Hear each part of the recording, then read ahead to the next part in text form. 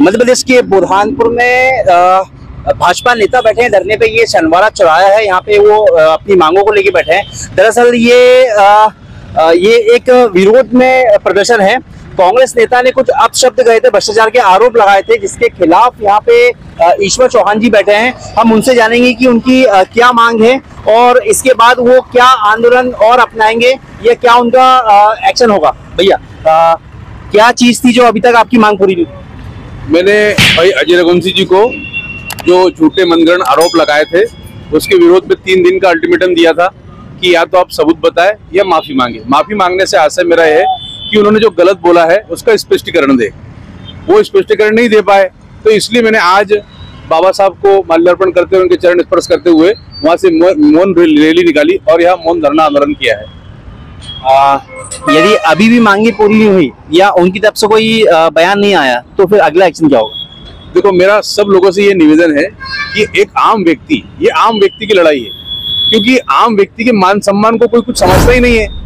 मेरी ये लड़ाई है कि कोई भी व्यक्ति का कोई भी किसी प्रकार अपमान नहीं करे, बिना तथ्यों के, बिना आधार के, बिना सबूत के, आम व्यक्ति अपने मान सम्मान को बनाने के लिए जीवन लगा देता है और अपने मान सम्मान को बचाने के लिए भी जीवन लगाएगा वो। क्योंकि उसके मान सम्मान को ठेस पहुँची है बिना तथ्यों के बिना आधार के।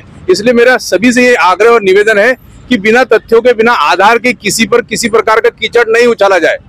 आ, मेरे पास उनकी प्रेस कॉन्फ्रेंस की क्लिपिंग है जिसमें उन्होंने ये कहा था कि एक आपका नाम लेते हुए और एक अक्षय मोरे जी का नाम लेते हुए कि इन लोगों ने भी सप्लाई किया है। आ, जो भी सामग्री नागरिक हमने सप्लाई की है। तो इसमें आ, इसमें भी आपत्ति है? नहीं काम तो किया है ना। अपने जीवन जीने के लिए अपने परिवार चलाने के लिए काम तो करेंगे और विधिवत करते हैं। मेरे पास सभी प्रकार के लाइसेंस है टैक्स भरता हूँ। उन्होंने जो महापौर के साथ जो आरोप लगाए हैं तो महापौर के कार्यकाल के पहले के हैं मेरे और नियम अनुसार सब काम है। मैंने सबूत सहित मीडिया के सामने आया था। अब उनके बताए मुझे सबूत कि मेरा मेरे भ्रष्टाचार है। ये उनके, उनके बयान में कहीं आपके भ्रष्टाचार होने के आरोप लगाए उन्होंने? उन्होंने देखो जो साथ में लगाया है उसका आशय तो उन्होंने मुझे फ़ोन किया था कि यार मेरा आशय आपके खिलाफ भ्रष्टाचार का नहीं है।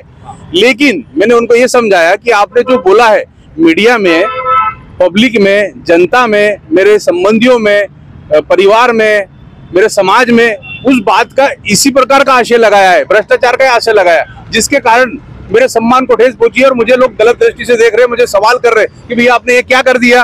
तो इसका जवाब कौन देगा? इसका स्पष्टीकरण कौन देगा? अजय रघुवंशी देंगे।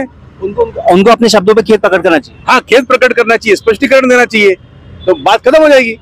चलिए, ये है भाजपा नेता ईश्वर चौहान जी, इनकी साफ़ तौर पर मांग है कि ये न्याय यात्रा है, इनको न्याय मिलना चाहिए क्योंकि इनका कहना है कि अजय रघुवंशी जो कांग्रेस के बड़े नेता है कांग्रेस महासचिव भी हैं, उनके द्वारा इन पर भ्रष्टाचार के आरोप लगाए गए हैं, वो, इनका कहना है अगर आरोप लगाएँ तो उसको साबित करें और नहीं लगाएँ तो आप अपनी खेत प्रकट करके इस मामले को खत्म कर सकते हैं। बहरहाल, हमारे साथ हमारी खबर देखने लाइक करें शेयर करें सब्सक्राइब करें ताकि आपको लेटेस्ट खबर मिले। ये खबर फेसबुक इंस्टाग्राम ट्विटर पर देखें उसको फॉलो करें। सुभाष गुर्जर के साथ संजय दुबे, बुरहानपुर। बुरहानपुर की पल पल की लेटेस्ट खबरों को देखने और सुनने के लिए हमारा चैनल ज़रूर सब्सक्राइब करें।